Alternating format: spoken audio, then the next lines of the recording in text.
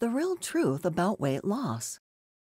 Despite the science being there to show us what really works, so many female fat loss and nutrition plans are based around principles that don't deliver results and pseudoscience that just doesn't stack up. Women are typically told to do two things to lose weight. One, drastically slash calories. This is usually done by minimizing carbohydrate intake, cutting down on fats, eliminating processed foods and alcohol completely, and even banning whole food groups such as grains, gluten, or dairy. 2. Start doing lots of cardio, and we mean lots of cardio.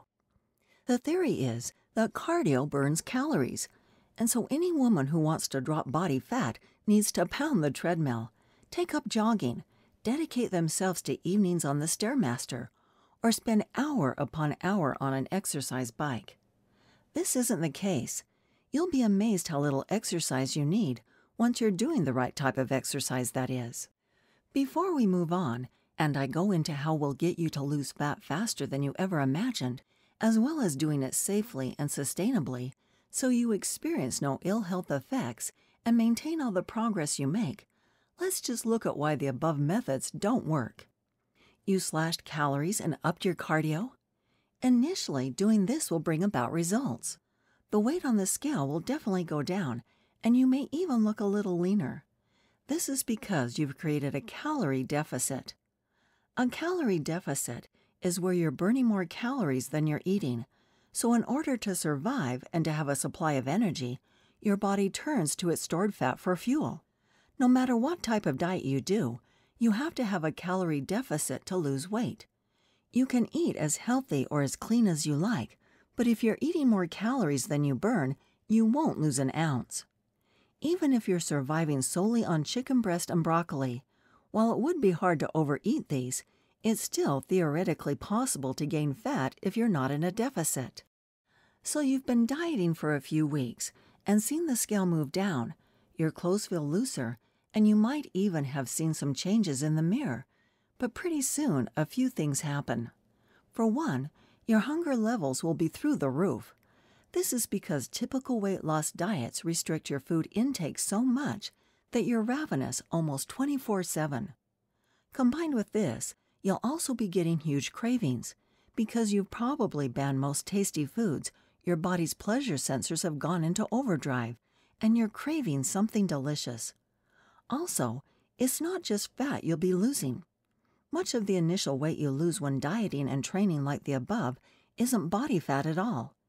If you've gone the low carb route, then your body's stores of carbohydrate will be significantly lower, which in turn reduces your water weight.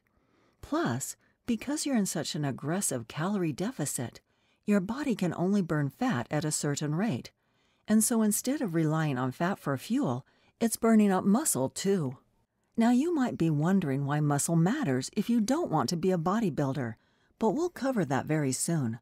First, I want to talk a little more about how detrimental the common way of doing things is. So your diet's not going great, but how about the training? Cardio is fine for burning calories, but what you'll notice is that pretty soon your calorie burn per session starts going down. Even if you try to work harder, you won't be getting the same results, and you have to go longer and longer to get it back up. This is because subconsciously your body is trying to save energy, so driving your calorie burn down. Unfortunately, while often deemed safer than weights, this isn't true either.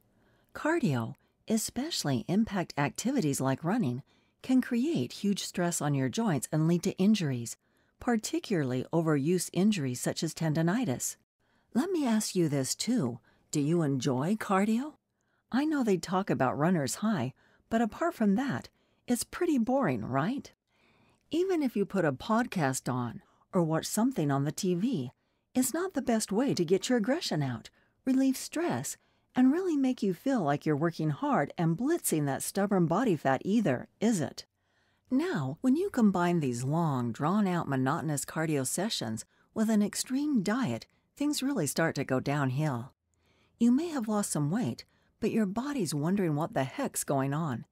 You've gone from feeding it adequate fuel and not exercising that often to slashing your calories right down and getting your cardio in every day. As it starts to burn off muscle mass, you begin to look skinny and drawn out. And while many women say they're not bothered about how they want to lose weight, provided they lose it, trust me, when you start seeing the muscle wastage and the lack of definition that come with the above approach, you'll change your tune pretty fast. The longer you diet like this, the slower your results get. Why? Well, that loss of muscle mass means you burn fewer calories each day. And by burning fewer calories, the size of your deficit reduces, meaning weight loss slows. To get around this, you have to eat less than you are at the moment. But remember those cravings? Well, they kick in hard, and it becomes almost impossible to stick to your plan. When the results are coming fast, depriving yourself and eating your same old bland, boring foods is bearable. But when the results aren't there, it gets so much harder. To combat such a drop in calories, your body also fights back with its survival mechanism. You might have heard this referred to as starvation mode. And while starvation mode itself is somewhat of a myth, there's a degree of truth to it, though most people in the nutritional sciences industry refer to it as metabolic adaptation. This is a process whereby your body starts to downregulate all non essential functions, such as sex drive, digestion speed, and even the production of some hormones, so you can start to feel very lethargic and quite unwell. Additionally, you'll subconsciously move around less, and so will be burning fewer calories, making it harder to keep losing weight. Can you see a pattern here? In the end, it all gets too much, and you give in and binge. Maybe you're out for a meal with friends, intend on having a plain steak or a chicken salad, but spy the burger and fries on the menu and just can't resist, so you have this. It tastes so good, and you figure that you've blown your diet anyway, and so you go on to have dessert, wine, and then chocolate when you get home. And before you know it, you've eaten a week's worth of calories in just a few hours, and then you feel guilty. This guilt starts to form part of a vicious cycle, whereby you think to get back on track, you need to be even more extreme than you were before, with more cardio and less calories. But the same thing happens again, only this time the binge comes sooner. Each and every time you do this, you're making future fat loss progress harder and harder as you're playing Russian roulette with your metabolism. You make your physique worse too as you lose a combination of muscle mass and body fat during the diet, but put back on solely fat, no muscle when you binge or overeat. Now, this is not meant to be a horror story. Far be it from me to try and scare you straight from the start. But I wanted to include this to outline how the way most women are told to eat and train to lose weight is just downright wrong. I also know there's plenty of skepticism out there when it comes to female fat loss, so wanted to show you how I'm not just another guru who wants to sell you supplements or get you onto an extreme eating plan. For more free educational content, visit learnforfree.biz. Content produced and distributed by AllSuperInfo.